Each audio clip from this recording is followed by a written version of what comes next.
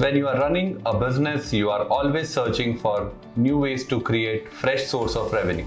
I created one for my business last year while launching a cloud consultancy services, all while learning a course from Simplilearn.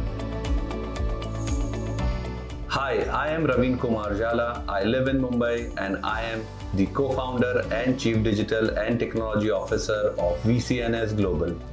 We specialize in providing security solutions, IT review and overall consultancy in technology sector.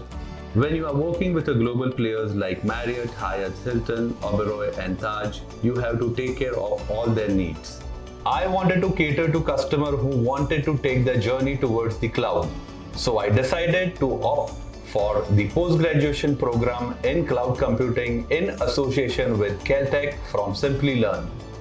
And while I was doing this course, I started my cloud consultancy services. So I was learning every day and implementing my learning at my business too in real time. Our customer usually don't know whether they want to opt in for public cloud or a private cloud or Azure or Google or a data center. So we study their business and suggest which cloud service would suit them best. After I completed the course, I was able to structure the whole cloud consultancy vertical for my company. We have added 7 cloud consultancy customers. I think it was a wise decision to take the course. I could actually take the time out to study because the course was flexible. I could access course videos on my phone so my work did not suffer.